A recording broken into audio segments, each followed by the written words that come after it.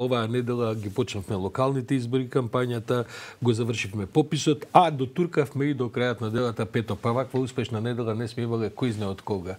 А, мислам дека дека а, и оваа временска прогноза што ја најавува Славче, а која што вели дека ќе се расчистуваат облаците барем за викендов, така гледам велат и другиве прогнозери, а, ќе имаме нема да биде тоа баш на задоцнато топло лето, ама ако ништо друго барем овој дошт што се а, што ја навлажи земјава последниве неколку дена, нема да прејде во она што се случува малку по на север од нас, особено во Словенија, каде што навистина поплавите се големи. Јас денеска можем да најавам дека имаме многу густа агенда и не е лошо да тргнеме со таа агенда уште што се вели рано утрово, бидејќи мојот колега Владко Чаловски е веќе во Кратово. Ние, како што веројатно успеавте да видите оние што не следат поредовно, ќе се обидеме да завртиме Македонија во предизборнава локално кампањска сезона секаде низ разни делови на, на земјата, а денеска Чаловски се јавува од Кратово. А, Владко, добро утро и а, повели со твојот гостин во, во Кратово. Добро утро, Сашо, до секако до студиото и до гледачите и слушателите на утрински брифинг и при најавата слушнав за она временска прогноза на Славчо дека ќе се расчистат облаците. Јас морам да кажам дека екипата на утрински брифинг, патувајќи од Скопје за Кратово утрово, а, тие облаци ги видовме и како близко до нас, знаеки Кратово нели колку е на колка висока надморска височина е, буквално облаците беа спуштени до до карпите, тоа беше еден убав еден убав поглед патувајќи кон ова место. Инаку знаеме сите ова е градот еден од оние најстарите градови, градот на кулите и на мостовите, како што може да се забележи а, по задина токму тоа гледаме ги гледаме тие мостови и тие кули. А, овде сме како што рече и ти како што најави по повод оние нели локалните избори, Предпоставувам дека во ова свежо време вака и ќе се среќаваме од другите градови, бидејќи температурата во Кратово а, не знам колку е, меѓутоа е така малку ладно како што велат штипи тоа ладното.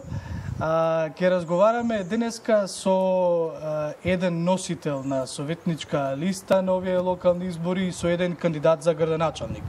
А имено при договорите за вклучувањето од Кратово, морам да напоменам дека а, кандидатот од редовите на ВМРО ДПМН, господин Тодорче а, Николовски, а, ненадено му излегоа всушност работни обврски па мораш утрово да патува за Скопје, така што тој предвиден разговор ке го немам, иако беше поканет, имаше и со Да негова, од него страна, така дека независниот кандидат Маријан Чоколевски а, воопшто, воопшто не јавува, не знаеме по кои причини, дали ќе ја промовира или нема да ја промовира својата кампања. Во секој случај, утрински брифинг е отворен да разговара со сите кандидати. Утрово разговараме со а, магистар по историски науки а, и носител на советничката листа на коалицијата на ЛДП и а, Дом. Господинот Илија Митевски. Добро утро и добро, добро утро. Поздрав до сите гледачи на утрински брифинг и до Слободен печат и многу благодарност за вашата посета на овој град. Веќе Кратово е доста стар град, ама многу ретко од вакви екипи е посетуван.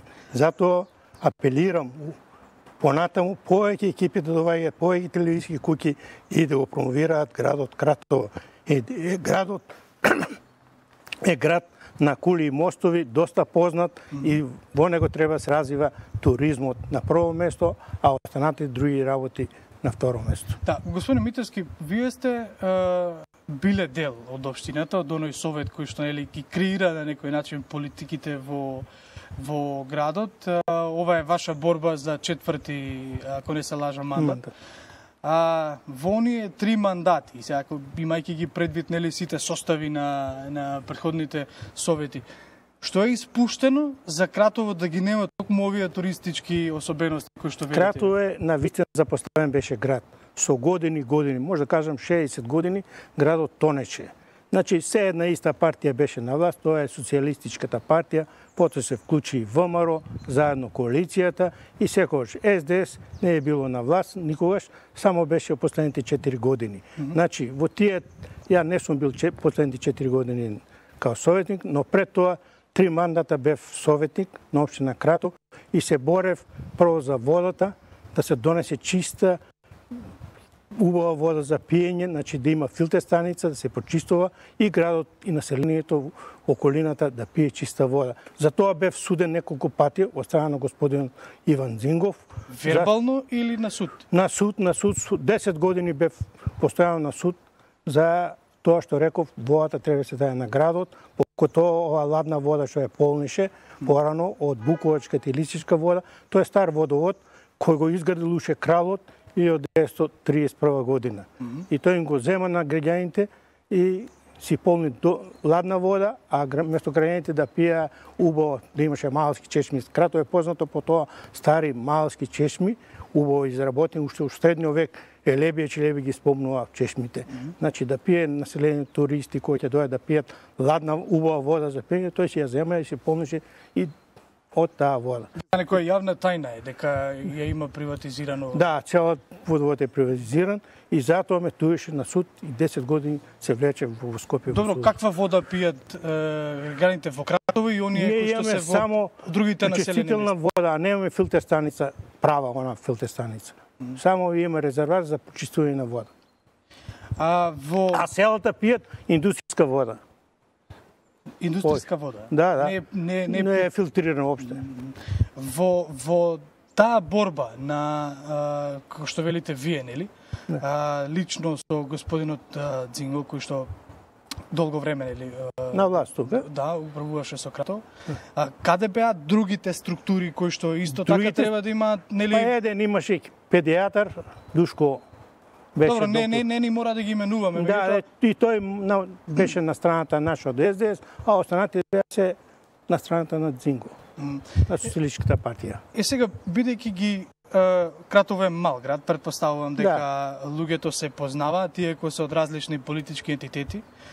А, каква е понудата на овие локални избори? Па јас ако би влегол повторно во Советот на Обштина Крато, би понудил многу за Кратово, бидејќи јас шетам, идам на симпозиум низ целиот свет и гледам како се прават општини, како се градове средуваат.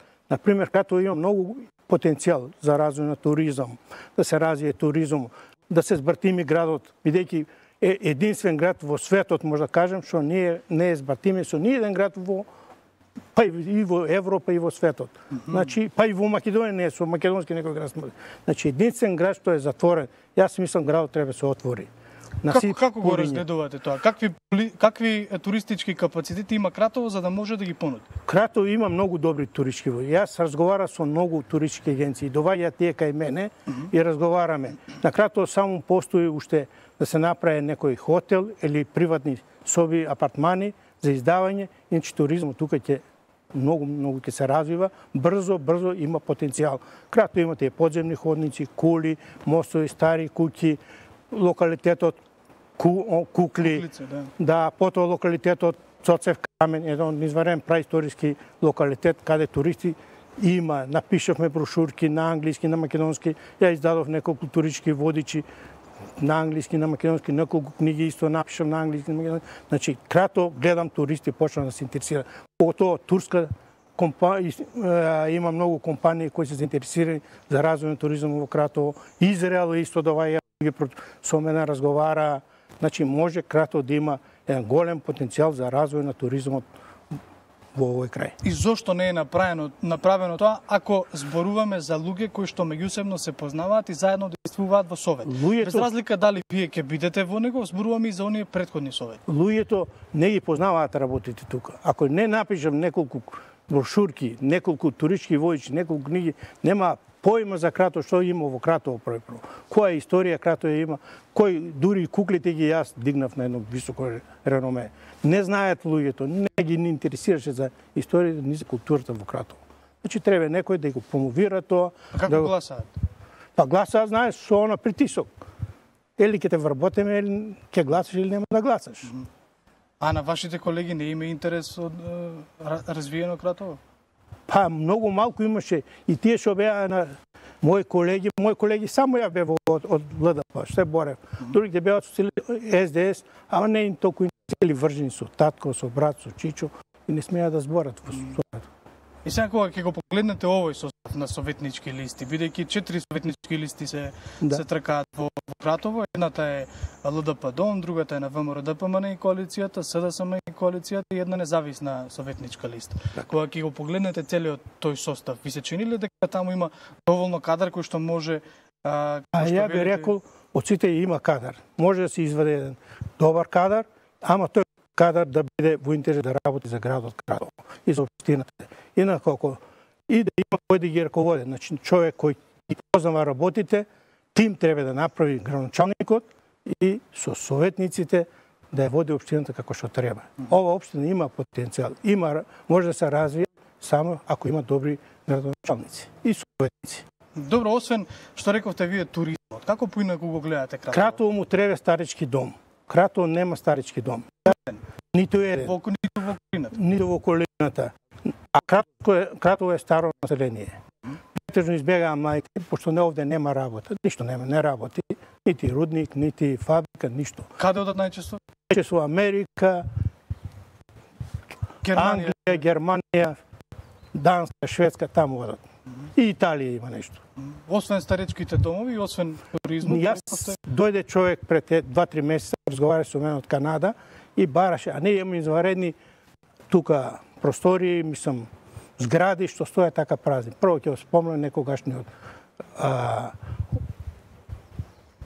дом за беше за туберкулоза, па потоа, а порано било касана, српска касана, ван градот, близу до градот, али изваредна зграда, направена ста, цврста зграда со огромен двор, убаво со зеленило. Значи тука може да се направи еден старички дом, така стои таа празна зграда.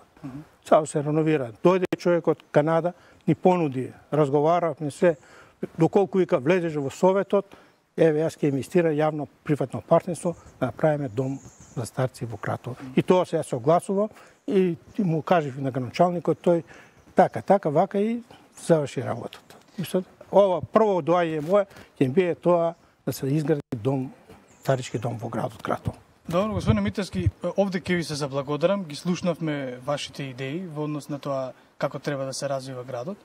А, јас како и на сите останати политички претенденти ќе ви посакам а, успешни избори, а, па понатаму што и да се случува, дали сте дел или не сте дел од општинската власт, ги имате идеите, може да работите со, со градот. Па на вистина, ако ме поканаат, без разлика дали ќе влезам, дали не, сепак сакам да му оставам на овој град една голема, голема, може би, осташтина. Јас напишам многу книги за Кратово, mm -hmm. многу туристички водичи, так. се борам за градот да се развива туризм. От јас тука седам, тука живеам, тука куќе имам, тука имање имам и тука останав. Јас можев да, да се отидам со моето знаење, може секаде да отидам. Да, ма вас ви е важно да сте тука. Тука е. Така и се борев цел живот, 60 да. години, пет пати од Зинго бе затваран. Ви, ви, Суден. Ви, ви благодарам, ви благодарам на одвоеното време, тоа сигурно го знаат кратовчани, го слушнале, а, или ќе го слушнат, имаат прилика. Да, тоа се кратовци. Да. А ќе имаме прилика да разговараме. И јас ви благодарам што ме посетивте и што дојдовте во Кратово и од се срце ви благодарам уште еднаш за вашата посета. А, од овој разговор со господинот Митевски само да најавам дека некаде околу 10 часот и 20 25 минути ќе разговараме со кандидатот а, за градоначалник Владко Бојковски. Од овде се одјавуваме, Сашо?